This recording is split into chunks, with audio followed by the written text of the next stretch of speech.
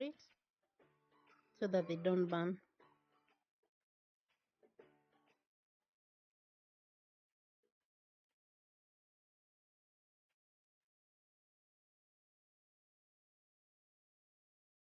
Keep turning them.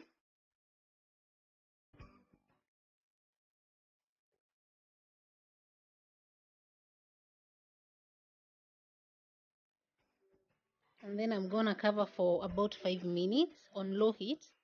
After five minutes you see the color has already changed. And now my garlic is uh, my gizzard uh, is halfway cooked. So I continue sauteing I continue uh, making sure that they don't stick. Then I'm starting to add my spices. That's uh, a Royco cube and I've added um, paprika. That's chicken masala and I'm now adding in some salt.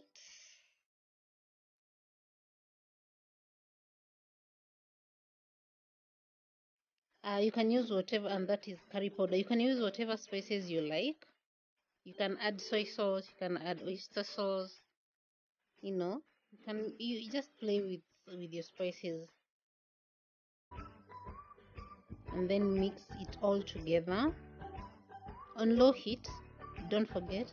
We are doing all this on low heat. If you're using a non-stick you don't have to worry about the the sticking of the you know.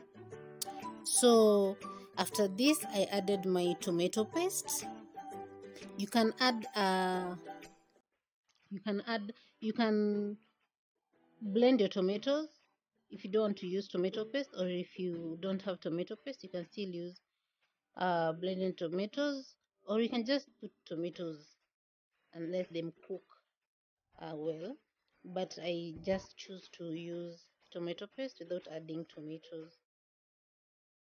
So make sure you give it a good mix. Good good mix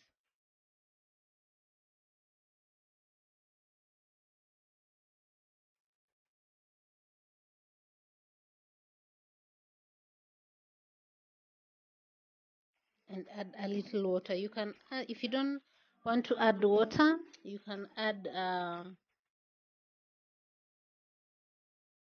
is it coconut milk? But I choose to add water because that is what I do. I'm showing you how you guys how I do my gizzards how I cook my gizzards. It's that easy. Added some water. You can add more and then cover and let it cook on, low heat for about 10 minutes. And your gizzard should be ready by now.